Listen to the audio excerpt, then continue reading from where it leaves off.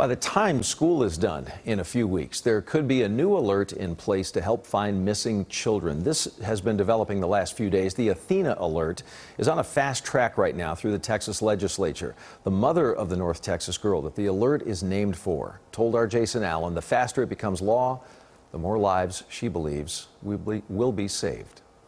Convincing lawmakers in Austin to take action can take patience and time but it's time that children who disappear often don't have.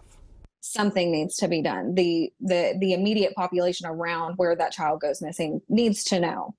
Maitlyn Gandy knows as well as anyone. Watching last November as investigators couldn't issue a statewide Amber Alert because no one had seen her seven year old daughter Athena be abducted. But since then, a new local alert has been proposed in Athena's name, which Gandy testified in support of.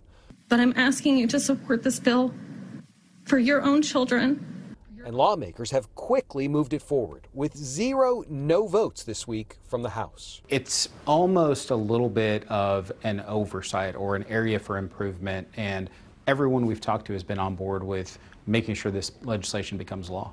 The Athena alert would only go out locally, within 100 miles of where the child was last seen, and to neighboring counties, and would not have to be a confirmed abduction.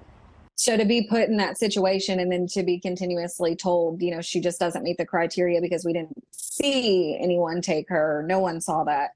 That was that was rough as a mother.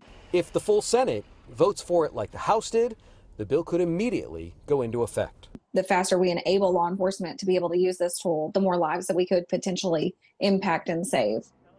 In Fort Worth, Jason Allen, CBS News, Texas.